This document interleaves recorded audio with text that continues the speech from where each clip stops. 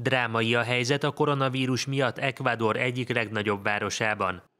A több mint két milliós Guayaquil kórházai és halottas házai megteltek. A rendszer leterheltsége miatt sokszor napokig nem tudják elszállítani az elhunytakat a lakásukból.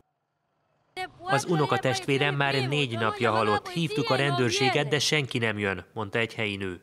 A vírustól tartó rokonok műanyagba csavarják szeretteik testét, és kirakják őket az utcára. Ecuador a járvány egyik legnagyobb dél-amerikai gócpontja, már több mint 3000 fertőzöttről és 100 halottról tudnak a hatóságok.